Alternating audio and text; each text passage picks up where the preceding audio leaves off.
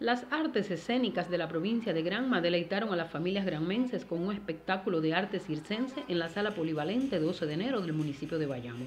Para la 28 edición de la Fiesta de la Cubanía hemos presentado un espectáculo especialmente para este evento con artistas invitados del Circo Nacional de Cuba.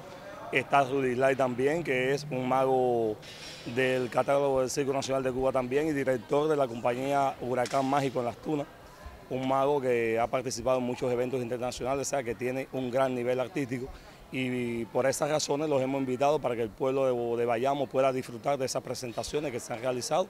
El público infantil ovacionó sobremanera la presentación de los payasos, quienes contagiaron con su alegría a todo el auditorio la especial presentación de Camila, artista del Circo Nacional, quien es también profesora de equilibrio en cable tenso en la Escuela Nacional de Circo, deleitó a los presentes con una demostración de fuerza capilar de marcada aceptación.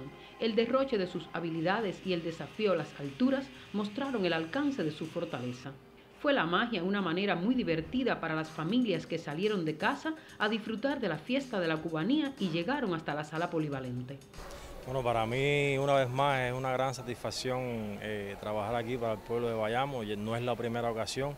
Siempre venir, eh, tener el placer de trabajar con el Circo Granma, siempre, es siempre fiesta y un orgullo poder estar aquí. Las diferentes presentaciones de los artistas del Circo Granmense con invitados del Circo Nacional fue homenaje a la vigésima octava edición de las fiestas de la cubanía, espectáculo que contó con la aceptación popular de los granmenses, quienes acudieron cada tarde a sus puestas en escena.